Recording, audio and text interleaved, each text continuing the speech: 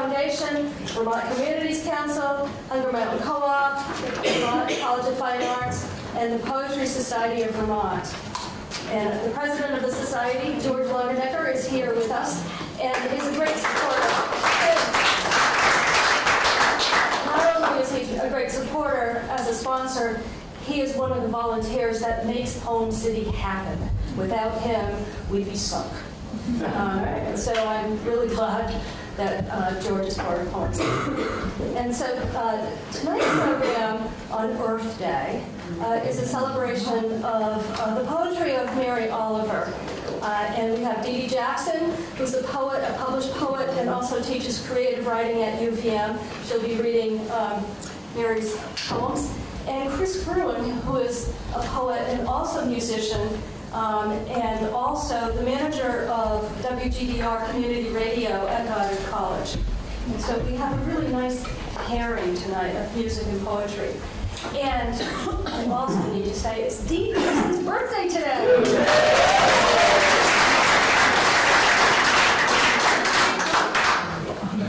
And it's really nice that you spend your birthday with us. So please help me welcome Dee Dee and Chris.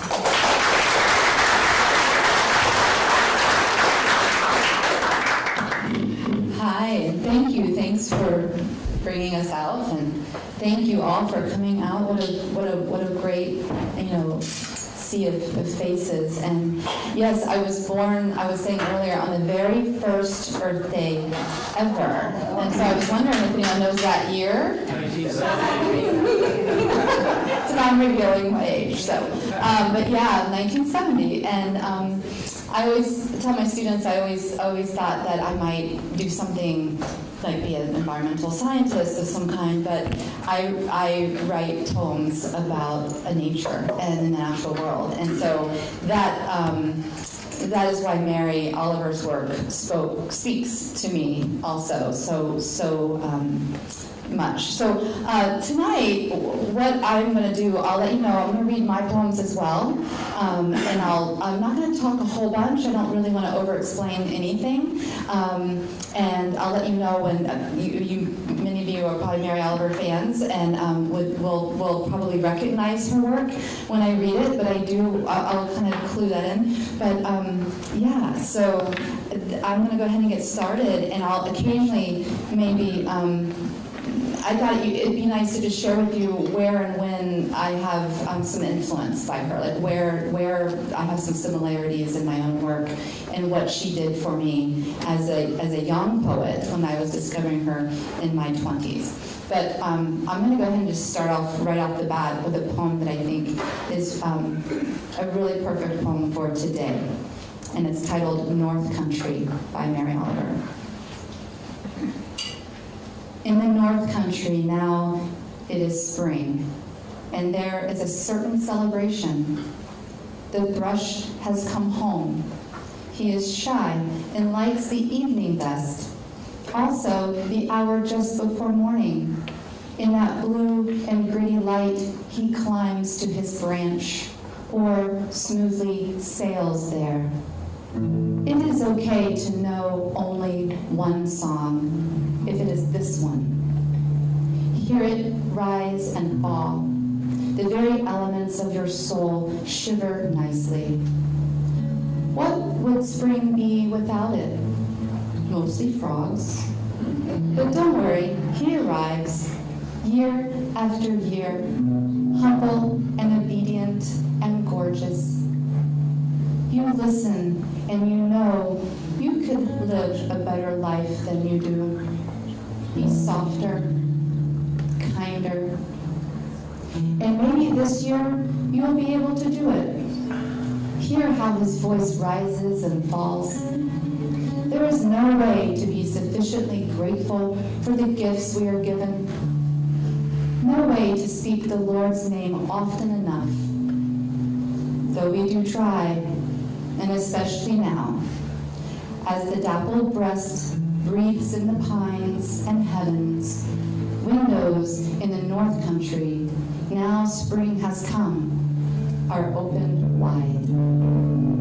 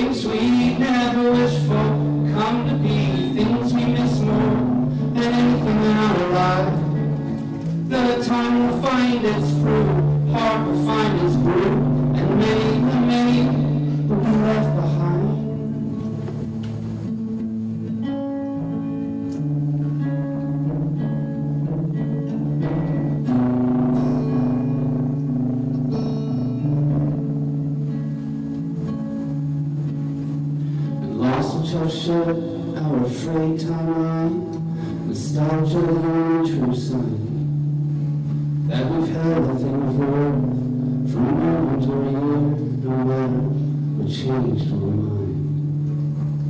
And this morning the sun burns over wandering. It's strange, says the girl that you're gone. I needed loving you, I needed leaving you. You're a monster, you're also my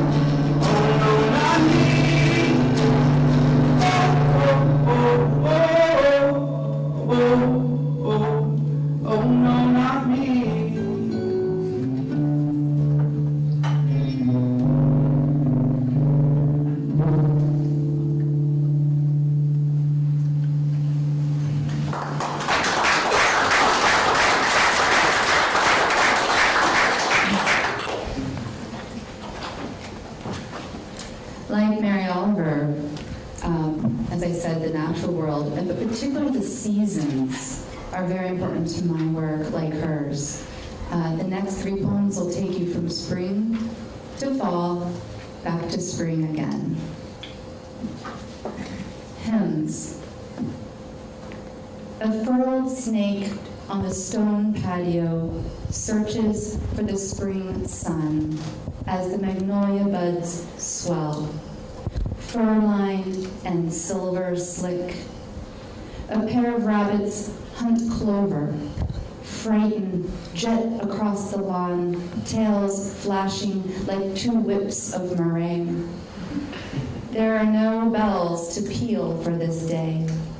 It passes, nods, its small souls receding toward the moment at dusk when the robins return.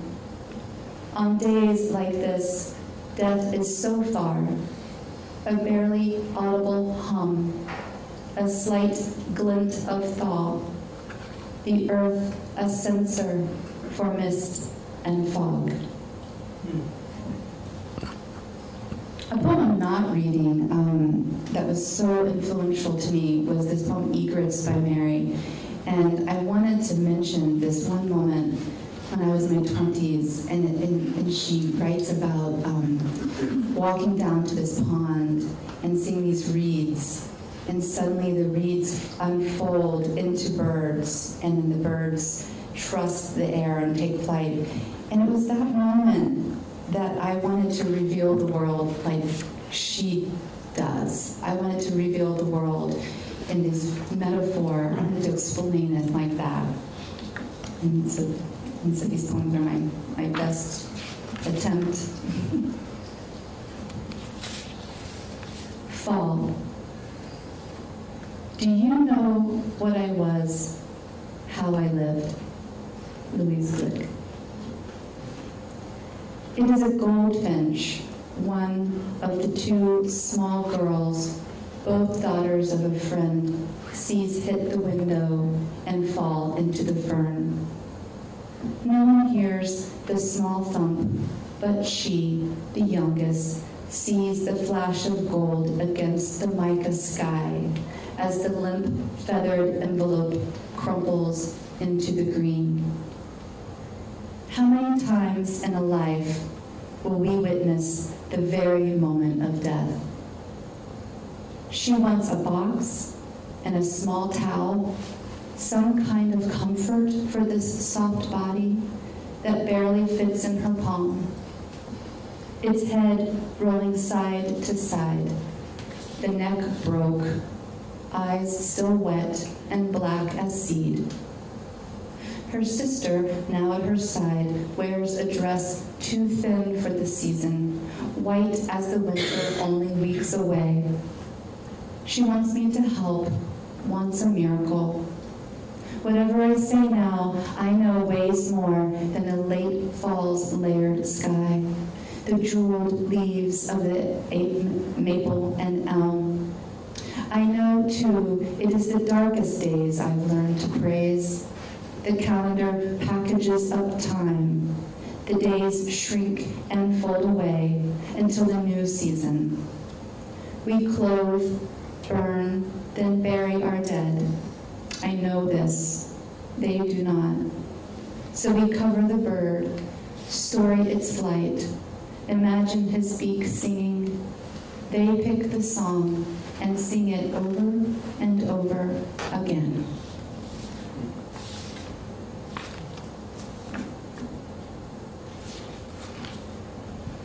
Back to spring. Listen.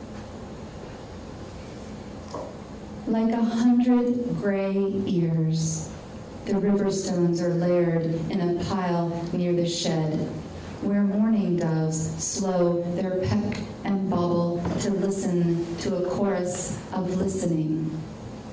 Small buds on the lilac perk up a cardinal's torpedoed call comes in slow waves of four, round after round. It's a love call, a call to make himself known to himself. The stones listen harder, decipher the song, attempt to offer back its echo, but fail. This is not a poem of spring. This is a poem well aware that gray flesh is dead flesh. All of the ripe listening comes at a cost. The first sky is in all skies. The first song is in all songs.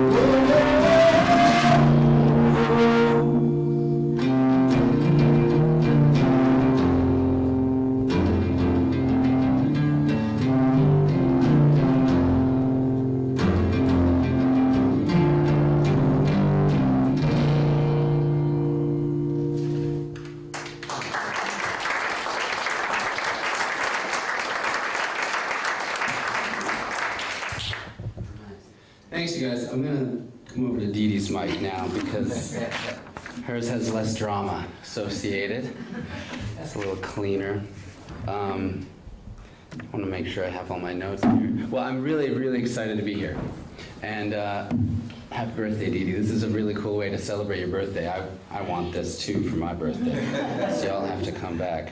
Um, I, like many people, was a huge fan of Mary Oliver. And uh, I started before being a singer-songwriter. I started with poetry as an amateur poet at Goddard late in uh, what, uh, like 1997, I think was right. I think that's when I graduated. Um, and before that, um, like 95, 96, I was fortunate enough to take a trip around the world and take some time off of school and um, and travel. And uh, before that, I had fallen in love with Mary Oliver. Um, her books started to accompany me everywhere, and uh, when I traveled, I brought her books with me. And I noticed that no matter which group of poets I was uh, flirting with, whether it was uh, late 19th century French poets like Verlaine, or even early not Verlaine, or Rimbaud, early 20th century Mary Oliver would be there too in that library and then later on Neruda, um, you know, and, and even Stanley Kunitz, a little bit more of a serious uh, uh, writer. uh, for that group, but you know Neruda and Mary Oliver would always be there, or later the Beats. Mary Oliver was always keeping company, and I started to realize that uh, her work really um, had the spirit of traveling for me, of of going out, being in love with the natural world, being in love with the world in general. But that what was remarkable was that her poems were, were really um, about delivering you to the nature of yourself, the wilderness of yourself. And wherever I would go, whether it was New Zealand or uh, Nepal or, or wherever it was, her poem would put me uh, in the same place. Wherever I was sitting, whichever riverside or whichever churchyard I was sitting in, it would shoot her poems would return me back to home, to myself. I started to realize this study of the wilderness is really ultimately a study of going in, not going out. Uh, and I think Mary's poems do that. Um, talk a little bit more about that later. It is worth saying that uh, I was also lucky enough to come out of Goddard and start a job as an educator in the area, as a teacher of young people, teaching uh, poetry and music. Um, and uh, that, that group was called the Second Sunset Poets. We started in Worcester, then we ended up in Middlesex. We made our way around. We performed on this stage in 2002, I think it was, for first night. And that was a wonderful thing. They always featured their work on WGDR, which was this anchor, um, this, um, this campfire that still is for this community. And then later on, that group evolved into the Hungry Rat Review, which really was Karen McCadden, who's sitting here in the front. It was really her uh, brainchild and her creative uh, leadership that brought that group together. And we started working out at Montpelier High School. And we started doing the same thing, performing original music and original poems for folks around here. So, in honor of, of Mary, it's nice to be here with all of you.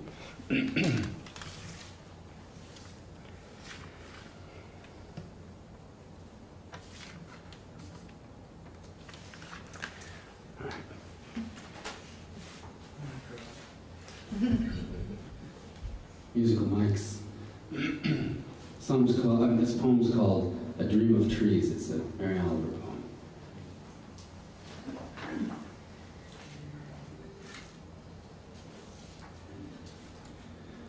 There is a thing in me that dreamed of trees.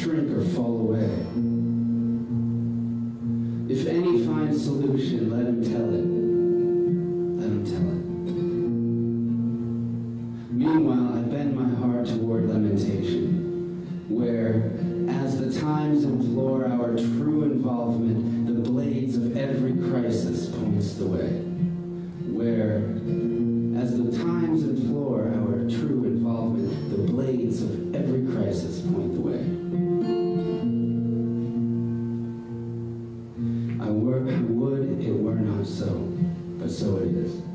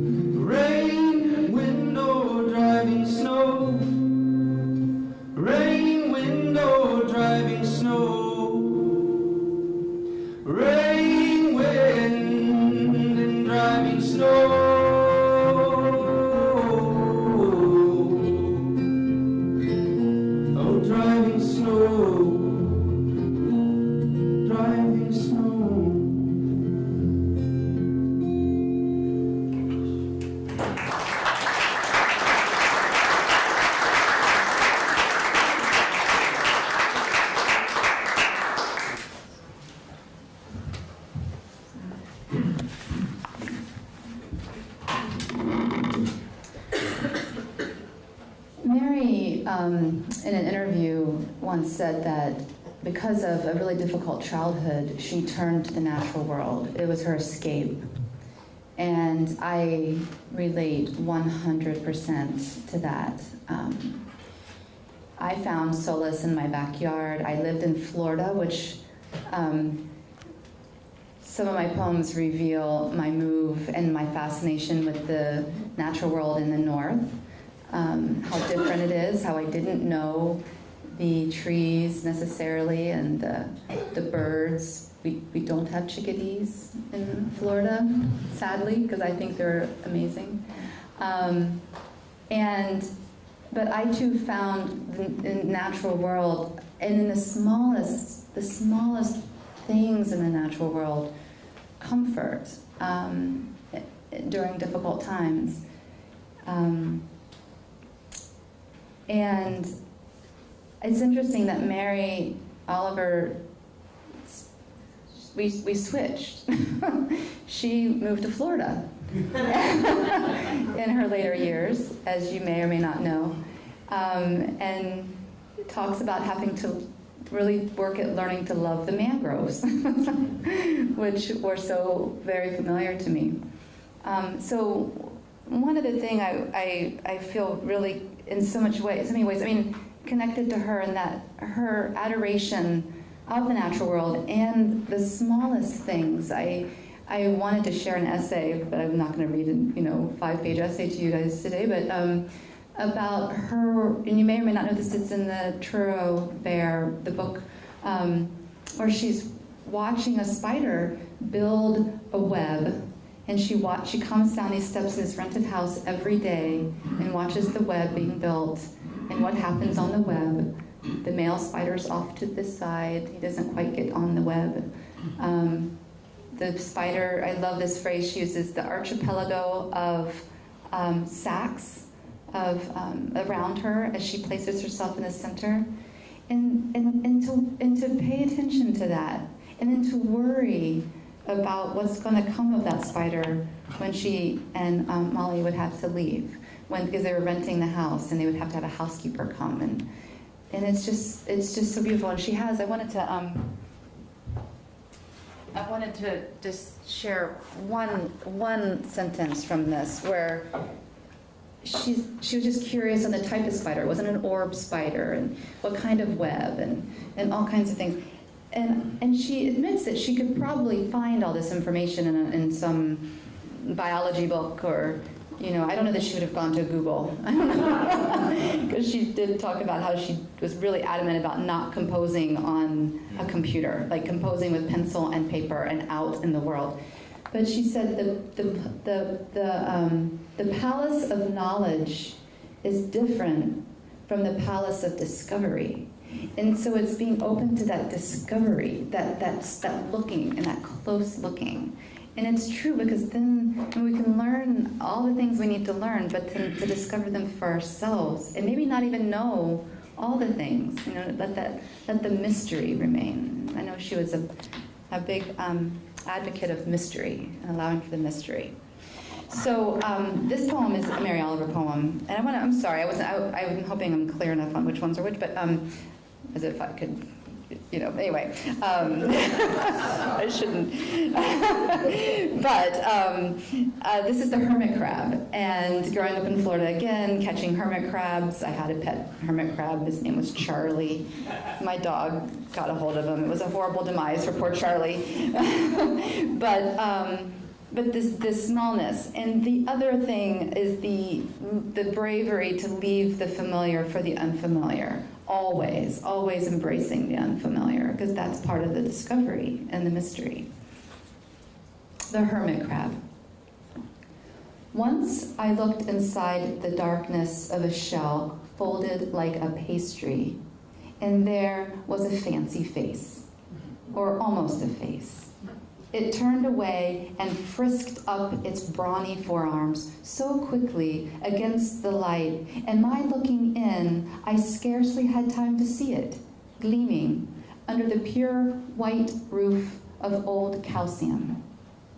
When I set it down, it hurried along the tide line of the sea, which was slashing along as usual, shouting and hissing toward the future turning its back with every tide on the past, leaving the shore littered every morning with more ornaments of death. What a pearly rubble from which to choose a house, like a white flower. And what a rebellion to leap into it and hold on, connecting everything, the past to the future which is, of course, the miracle, which is the only argument there is against the sea. So great. Yeah. Very, very.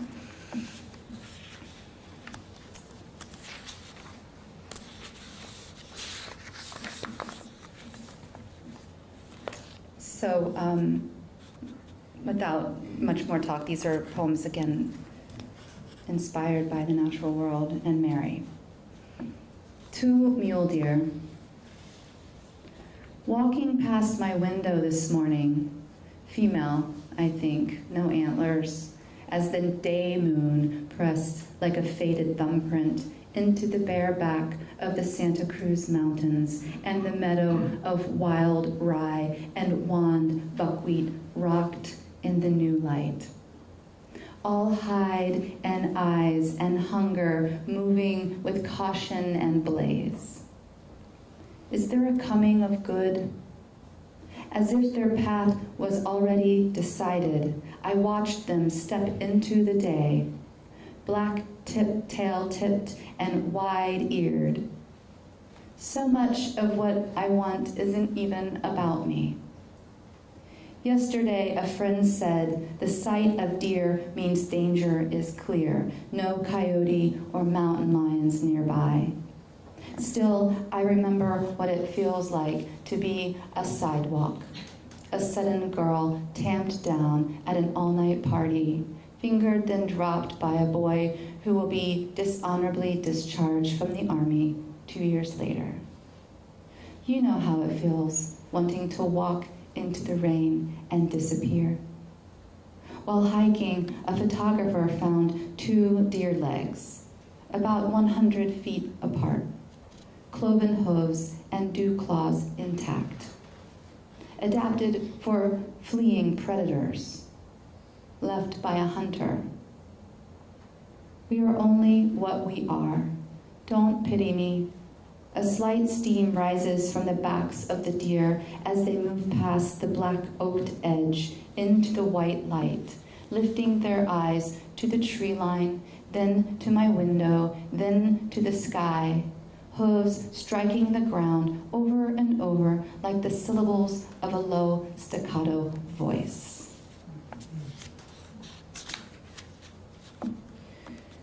Also when um, Mary would go into the, well, she's she said this. This is interesting. She she believed a spiritual life was a richer life, although she couldn't quite connect with, you know, um, uh, organized religion. Um, and in school was difficult for her in, in some ways because she just didn't like walls, and she just even even in her last interview, I think in a few years before she died, she just did not like being enclosed in a room, and she wanted to be outside. So she's like, the only rule I really broke in school was truancy, because she just wanted to be out in the woods. And so she would take with her her heroes, her poetry heroes. She'd bring Whitman and uh, Blake, she said, and have conversations um, with them. And I, um, I love that. I love that. Um, that interesting self-education in a lot of ways. Um, so, a nation after William Stafford. A lone doe crosses the border of the dirt road, heaving herself over the plowed snow, becoming a new silence, one of the many that, like standing shadows, beat themselves weary between the wind and ground round of belly. She walks with a nation inside of her. And I look and look for the grief I belong to, past the long wall of elm and ash on either side of me, past the car lights that listen, ashamed, past the tiny specks of luminous snow that spin and lift like mealybugs. I think hard for her baby of St. Margaret ripping herself from the belly of a dragon, her crucifix slicing an incision, patron saint of childbirth. I whisper a small prayer for the two that already tastes extinguished, all the while knowing Stafford couldn't know every time I read his poem. I want him to save the fawn. He didn't know he didn't know she is us all pushed over the edge.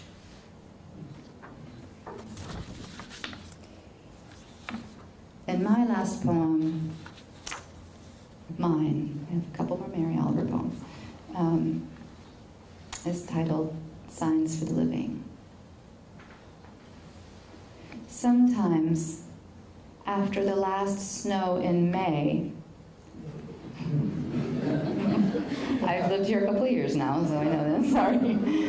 I'll start again. I love saying that. Okay, I love it. Sometimes, after the last snow in May, after the red-winged blackbird clutches the spine of the cattail, after he leans forward, droops his wings, and flashes his epaulets, I imagine shouldering the yellow center lines of the road near the recently thawed pond, within a long channel of construction, a man holding a sign. One side says slow, the other stop. Joy and sorrow always run like parallel lines. Inside the house, when I leave the lights on, small white moths come like a collection of worship, pulsing their wings up and up the window as if in a frenzied trance like dance. Some dervishes, others the penitent on shaky knees. The first few years after my husband's suicide, I wanted to be the penitent. I thought I deserved all the pain I could feel. The drill of roadwork in late summer was a welcome, grinding music. Now, the yellow center lines are flung like braids behind me.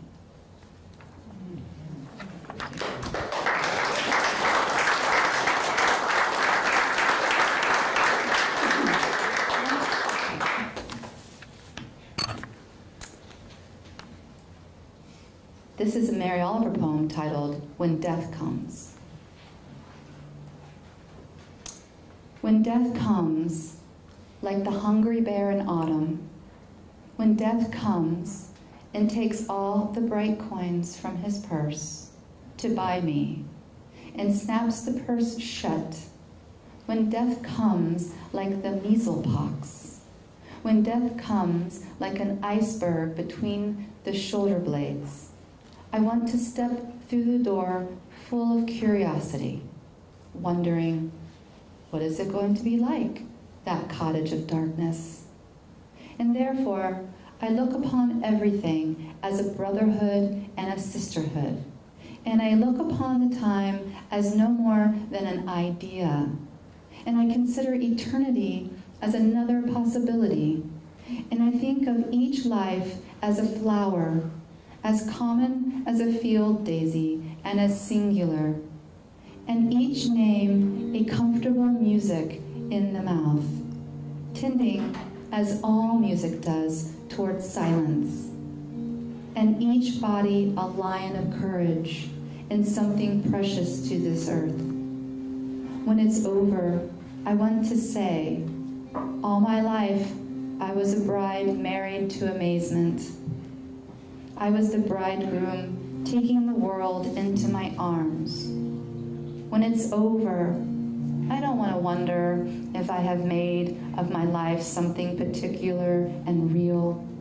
I don't want to find myself sighing and frightened or full of argument. I don't want to end up simply having visited this world.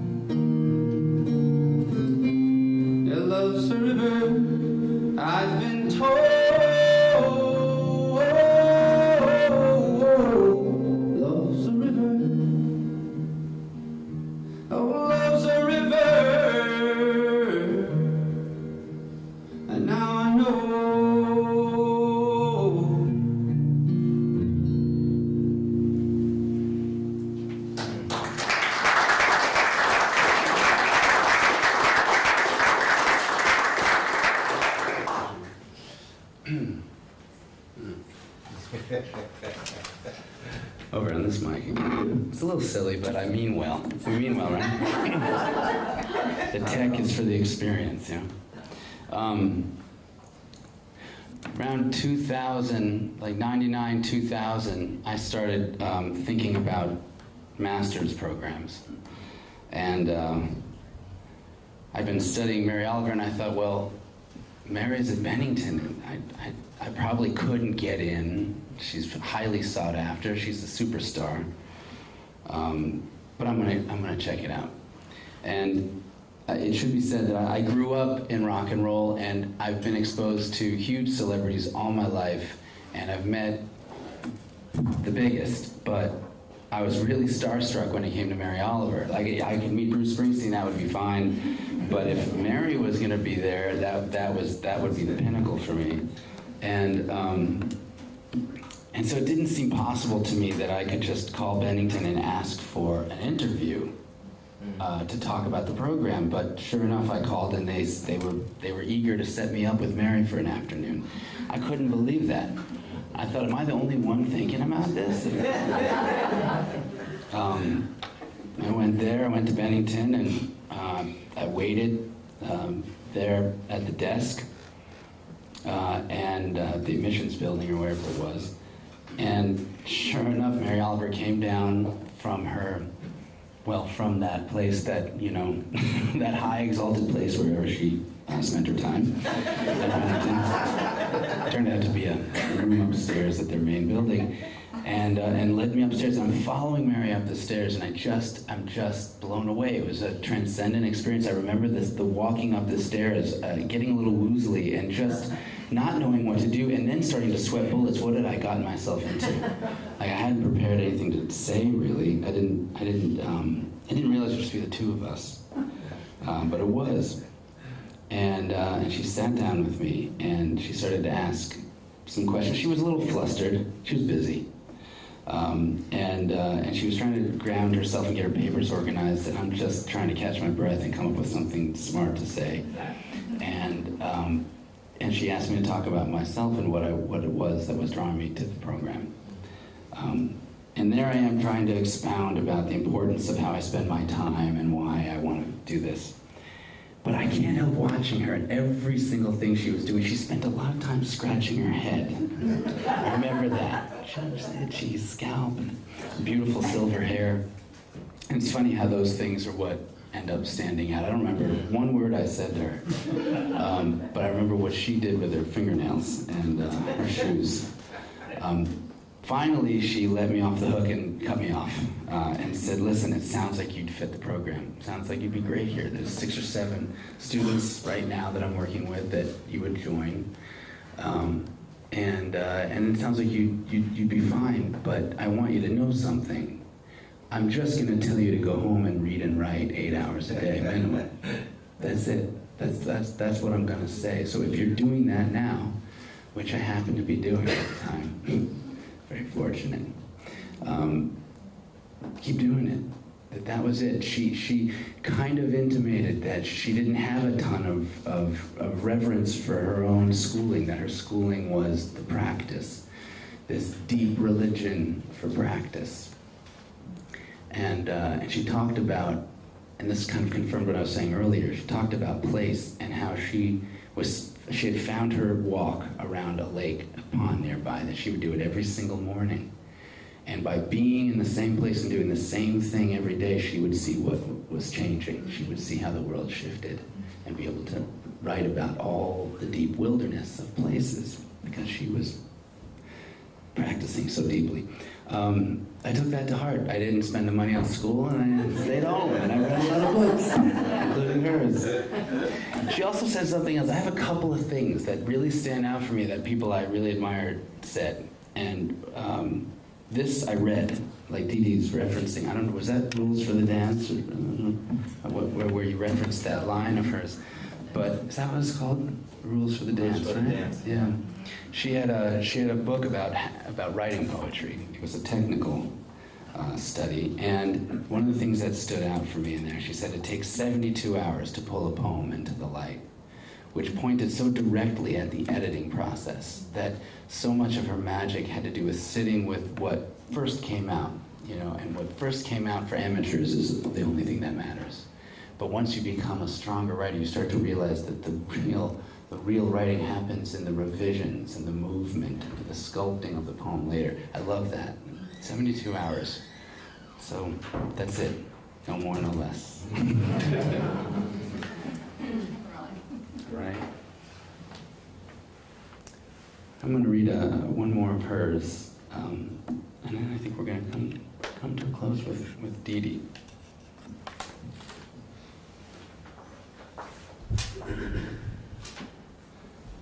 At Great Pond.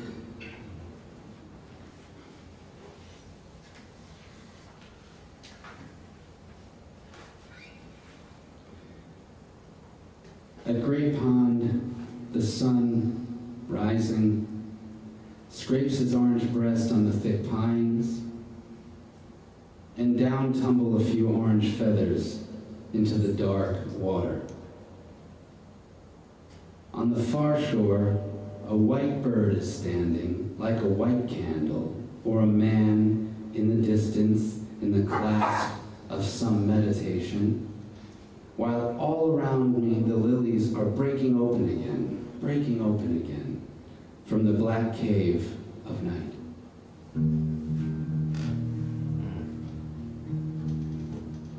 Later, I will consider what I have seen, what it could signify, what words of adoration I might make of it. And to do this, I will go indoors to my desk. I will sit in my chair, I will look back into this lost morning in which I am moving now, like a swimmer, so smoothly, so peacefully. I am almost the lily, almost the bird vanishing over the water on its sleeves of night.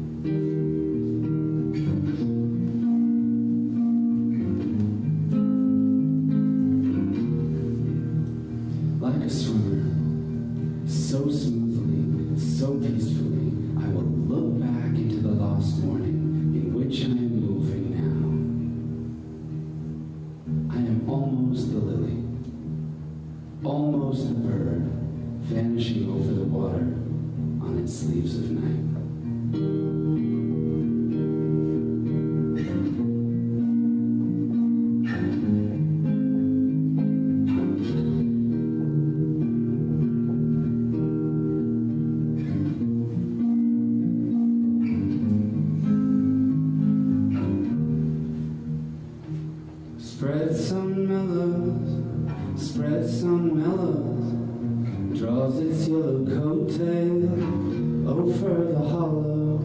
Rose hips and raspberry, leaf tips and grasses. Lover look at night's shadow, born as a passage.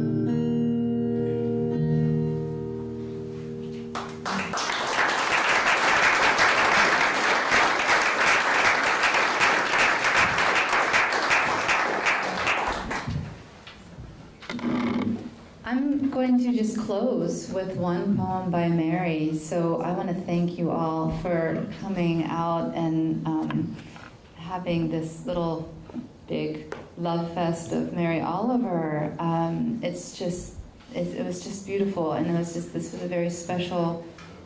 I think this was very special. I, I with her passing so so recently, this was just a really beautiful evening, with beautiful music and poems. So I'm, I'm just gonna I, I'm, I'm just gonna close with one poem. I shared it with my students when um, I learned that Mary had died.